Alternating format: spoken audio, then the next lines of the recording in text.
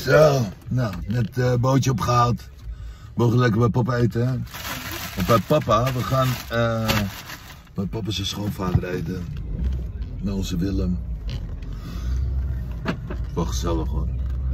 Ah, spaghetti maken, spaghetti bolognese. Ja, helemaal goed. Ik heb ook uh, cadeautjes meegenomen voor Willem.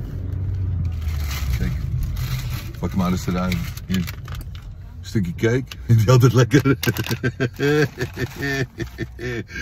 uh, gummies, gummies, vindt hij ook altijd lekker.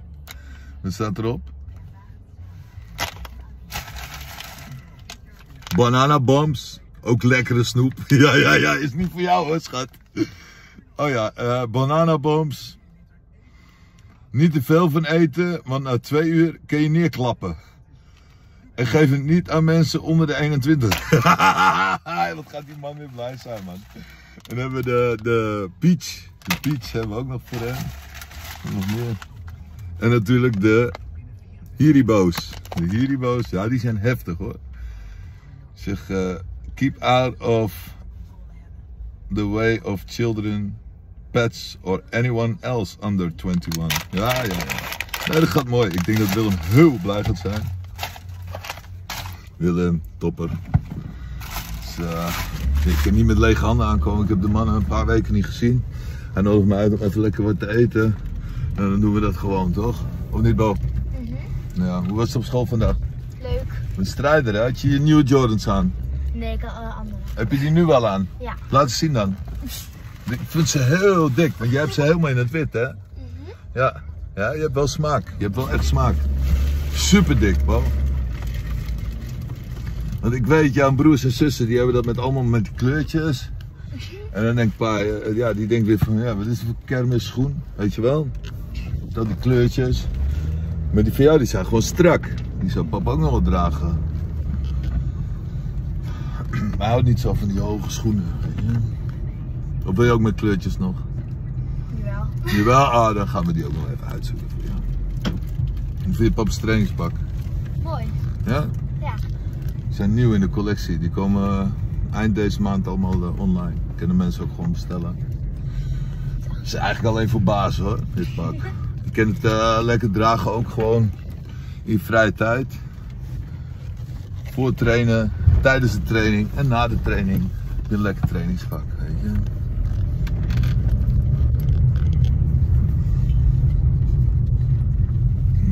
Ik even een beetje geld halen. Pak maar even 500. Je weet de pincode hè? 2404. Ja. Oké, okay, dan. Zei ik dit nou op het filmpje? Ja, maar hebben gewoon scheid aan. ik heb geen geheime mensen. Voor niemand, voor niemand. Ja, leuk man. Bo die gaat even bij papa logeren. is altijd gezellig. Ja, als je vier kids hebt, jongen, echt, dan moet je af en toe even. Uh, hoe zeg je dat? Eén voor één. Ja, even die quality time.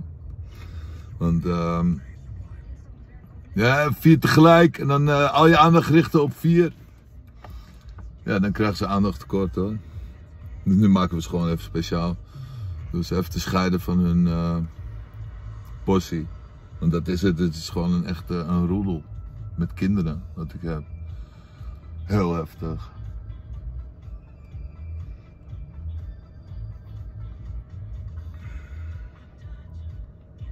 Ik heb echt uh, zin in vanavond. Ik ben die serie aan het kijken met uh, Sylvester Stallone. Tulsa King. Wauw. Ja, ik wist niet dat hij uh, zo kon spelen, de man. Sylvester Stallone. Hij is nu 76 jaar, geloof ik. Nou ja, dat is normaal een leeftijd dat je zegt van nou, nu gaan we lekker achteroverleunen. Maar die man die, die zet nog even een hele vette serie neer. Dankjewel schat. Moet ik het nog natellen? Of klopt het wel? Klopt wel. Ah, oké. Okay. Nou, je pikt niet hè, van je vader. Nee. Je stuurt wel altijd tikkies naar je vader. Dat vind je dan wel weer stoer. Nee, goed hè? Oké.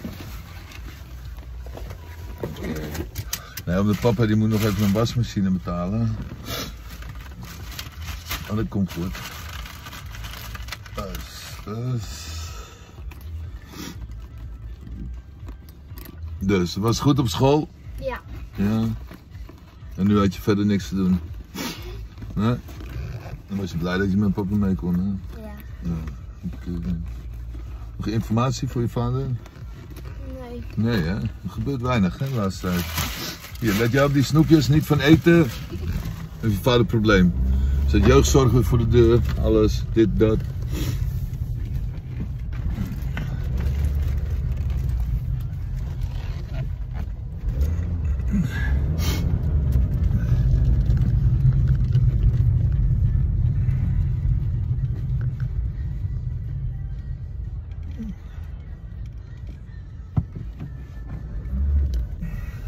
Weet je waar we heen gaan? Eh, nee. Boerenland.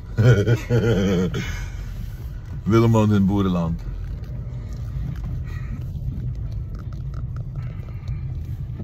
Het is wel gezellig. Hoef niet in de file te staan in ieder geval. Het is wel net die tijd hè, zo.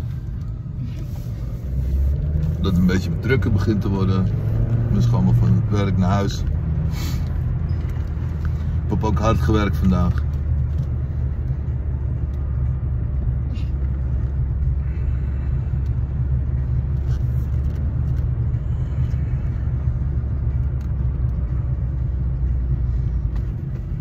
Is een mooi pakje hè?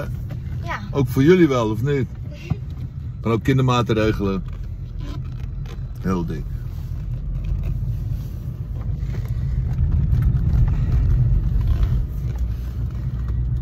Ja, ja, je vader gaat het groots aanpakken, Bo. We gaan alles kapot maken daar in die nutritionmarkt. Weet je wat het is? Het spul hoeft helemaal niet zo duur te zijn. En er zijn nu een heleboel eh, collega's van papa.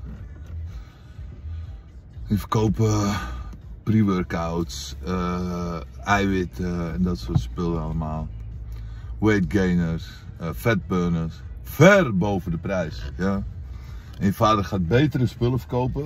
Ja? Echt 100% betere spullen. Tegen een derde van de prijs van wat hun vragen. Dus je moet het zo zien. Waar hun 40 euro vragen, vraagt je vader gewoon 15 euro. Voor betere spullen. Wat denk je, gaat iedereen bij je vader kopen? Ja. Ja. Ja. Dus gewoon 1 en 1 is 2. Ook al mogen ze je vader niet. eh, het is nog altijd gunstig om iets van hem te kopen. Maar dan moet je wel heel groot hekel aan mij hebben. Als jij nog bij iemand anders wil kopen die drie keer zo duur is. Snap je? Mhm. Ja, marketing stunt hè. En dan hoef je vader niet heel veel op te verdienen. Want als iedereen bij hem koopt, verdient hij uiteindelijk alsnog veel. Snap je? En dat is een beetje wat je vader gaat doen dit jaar. Hij gaat overnemen. Hij gaat alles overnemen. Ja. Lekker alles kapot maken. Weet je wat het voordeel is? Je vader hoeft daar niet van te leven. Die heeft het al goed. Dus die kan er een beetje mee spelen. En uiteindelijk gaat hij er ook weer een dikke boterham aan verdienen. Zo werkt het. Ja. Ja, ja. En als je vader het goed hebt, dan heb jij het ook weer goed. En dan kun je die schoenen weer halen in alle kleurtjes. Zo draait de wereld rond. Ja. Ja. Dus heb je dat ook op school geleerd? Nee. Nee, dat leer je dan maar van je vader aan. Ik ga vanavond een mooie documentaire kijken. Over eh, Martin, Martin Hoogland. Weet je wie dat is?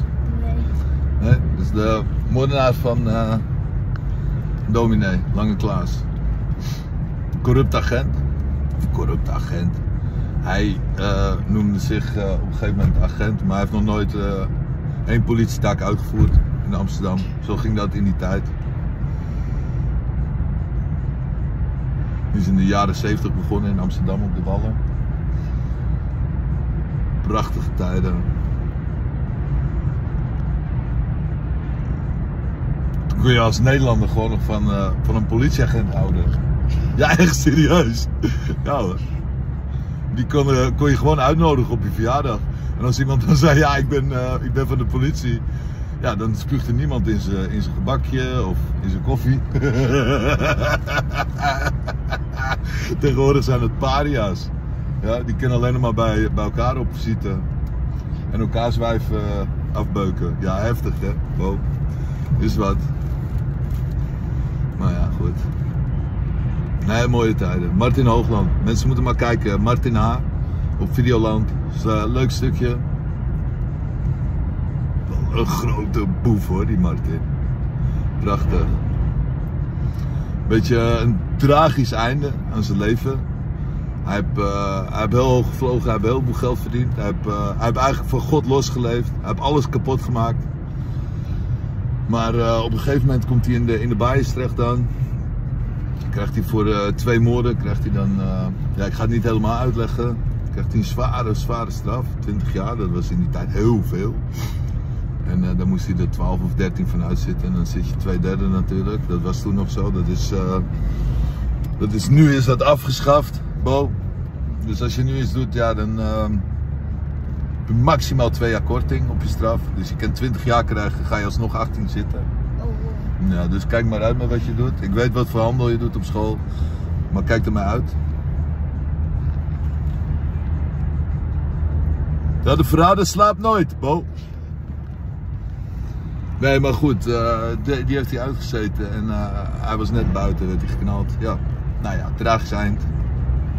Maar goed, tegenwoordig eh, is het eigenlijk een zekerheidje dat als jij boef bent en een beetje een grote boef, dat je of levenslang krijgt of dat je eraan gaat. Dus ja, goed. eh, voor die tijd was dat niet vanzelfsprekend, in ieder geval. Nu wel. Dus geen boef hè, Bo? Nee. Ook niet met boeven gaan trouwen. Schiet helemaal niet op. Heb je een hele onzekere toekomst. Ja. Maar gewoon een voetballer of zo. Of een YouTuber. Ja? Oké. Deal. Tik hem aan. We geraken al aardig in het eh, boerenland, mensen. Lekker hè? Ja. Het ruikt hier ook naar koeienstront. Ik ruik het dan niet meer.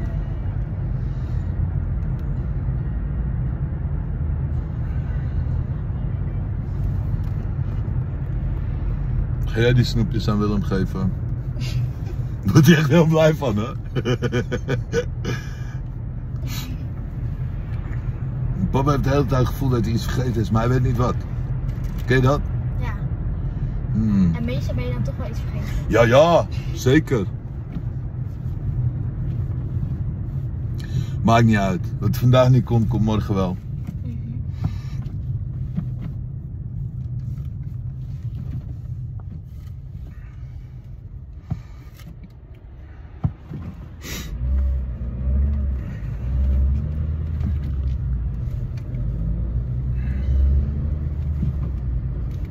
moet je morgen op school zijn? Half negen. Oh, nou, dat redt je vader wel. Hij moet morgen heel vroeg moet hij al uh, afspraak zijn. Dan gooit hij jou gewoon eruit. Bij het schoolplein. De kleren mee? Ja. Hele tas vol zie ik. Wat is dat allemaal joh? Nee, ik neem altijd dubbel mee. Oh, dubbel. Waarom? Ja, gewoon voor de zekerheid. ja, ja, ja, ja, ja, ja, ja. ja. Is dat een kind van mij? Papa gaat altijd met een eh, tandenborstel naar de andere kant van de wereld. Een tandenborstel, een paspoort en een beetje geld. Lekker man. In maart gaat papa naar Mexico. Cancun. Met een tandenborstel, een paspoort en een beetje geld. En Romy neemt hij mee. Wel zin in. Een beetje bruin worden. Je vader wordt een beetje witjes, hè?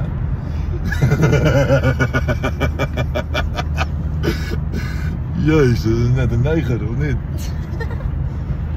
Ach ja.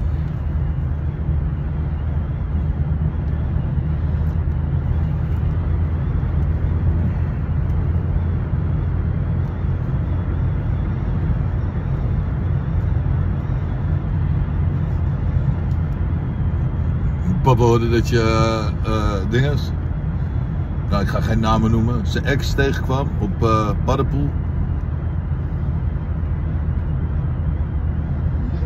Mijn ex kwam je tegen op Paddenpoel. Oh ja. Wat deed je op Paddenpoel?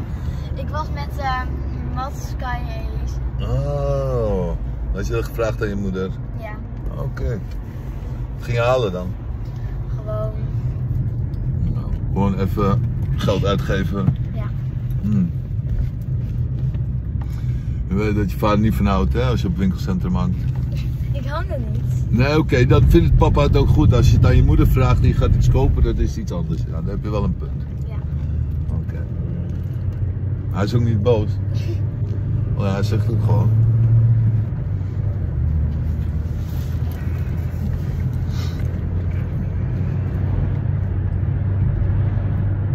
Hoe gaat met kickboksen? Mooi. Maar goed hè, hoor ik van eh Duut. Ja.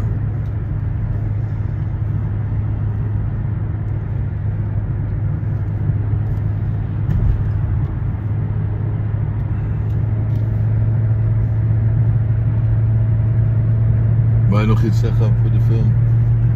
Nee, Echt niet? Nee, je vader ook niet meer. Hij is helemaal uitgepraat.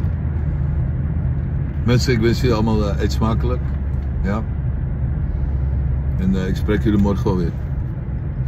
Bo en ik gaan een mooie serie kijken? Of doku. Zeg maar, oes! Oes. Oes! Mensen, fijne avond. Oes.